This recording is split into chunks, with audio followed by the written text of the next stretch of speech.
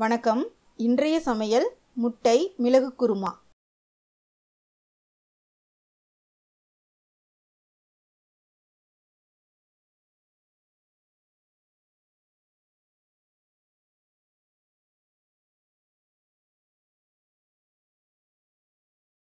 இங்கே நான் அஞ்சு முட்டையை வேக வச்சுருக்கேன்.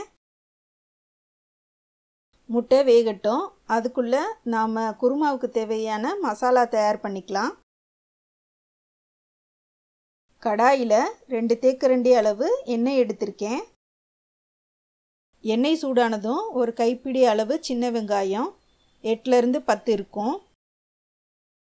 ஆறு பூண்டு. சிறிய துண்டு இஞ்சி. இதை எல்லாத்தையும் சேர்த்து நல்லா பொன்னிறமாக வரும் வரை வதக்கணும்.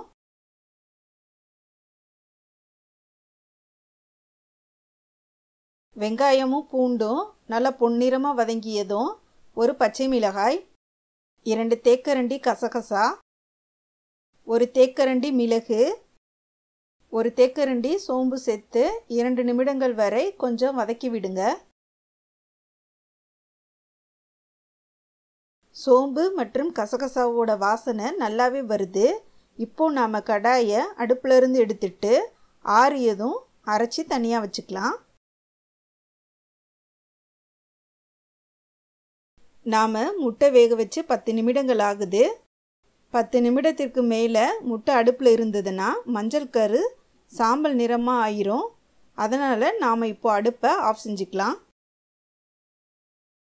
இது வரைக்கும் சேனலை சப்ஸ்கிரைப் செய்யாத நண்பர்கள் சப்ஸ்கிரைப் பண்ணிக்கோங்க.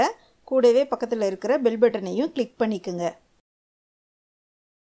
கடாயில் நாலு தேக்கரண்டி அளவுக்கு எண்ணெய் விட்டுருக்கேன். எண்ணெய் சூடானதும் ஒரு துண்டு பட்டை ரெண்டு கிராம்பு ஒரு ஏலக்காய் சேர்த்துக்கலாம். பட்டையோட வாசனை வந்ததும் ஒரு பெரிய வெங்காயம் சேர்த்துக்கலாம். வெங்காயத்துக்கு மட்டும் தேவையான அளவு உப்பு சேர்த்து நல்லா வதக்கி விட்டுக்குங்க.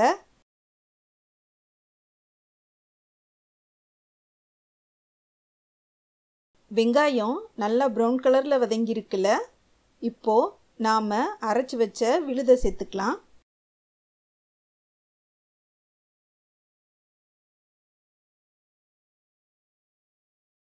இங்கே நான் நாலு தேக்கரண்டி அளவுக்கு தயிரை கட்டி இல்லாமல் நல்லா அடித்து வச்சுருக்கேன்.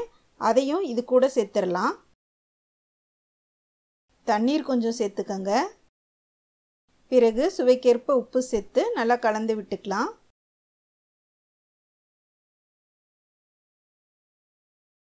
நாம் சேர்த்த மசாலாவோட பச்சை வாசனை போகிற வரைக்கும் கடாயை மூடி வைக்கணும். பச்சை வாசனை போகிறதுக்கு மூணுலேருந்து நாலு நிமிடங்கள் வரை ஆகலாம். பச்சை வாசனை போனதும் நாம் அவிச்சு வச்சிருக்கிற முட்டையை சேர்த்துக்கலாம். முட்டையை சேர்க்கும்போது அதை கொஞ்சம் கத்தியால் கீறி விட்டு சேர்த்துக்கோங்க. அப்போ தான் மசாலா முட்டைக்குள்ளே நல்லா இறங்கும். கொஞ்சமாக கறிவேப்பிலை இரண்டு பச்சை மிளகாய் வாசனைக்காக அரை தேக்கரண்டி கரம் மசாலா சேர்த்து நல்லா கலந்துக்கணும்.